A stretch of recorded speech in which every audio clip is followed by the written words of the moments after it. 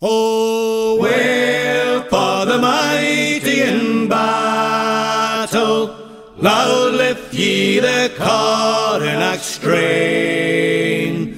For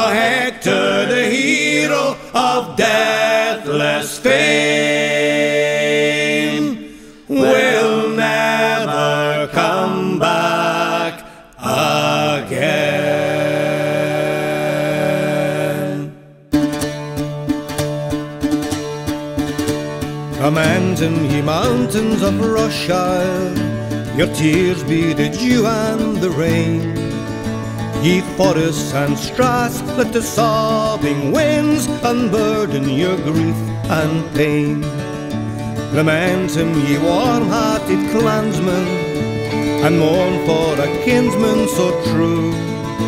The pride of the Highlands, a valiant MacDonald, will never come back. Lament him, ye sons of old Scotia, ye kinsmen on many a shore. A patriot warrior, fearless of foe, has fallen to rise no more. Has fallen to rise no more. Oh, wail for the mighty in battle. Now lift ye the coronach strain. But Hector, the hero of deathless fame, will never come back again. Oh, cherish his triumph and glory on Omdurman's death-stricken plain. His glance like the eagle, his heart like the lion, his laurel the nation's gain. Lamenting ye sons of old Scotia, kinsmen on many a shore. A patriot warrior, fearless of foe, has fallen to rise no more. Has fallen to rise no more.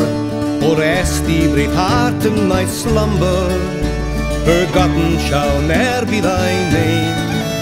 The love and the mercy of heaven be thine, our love thou Thou art Hector the hero, the chivalrous, dauntless and true. The hills and the glens and the hearts of a nation re-echo the wail for you. Lamenting ye sons of old Scotia, ye kinsmen on many a shore. A patriot warrior, fearless of foe, has fallen to rise no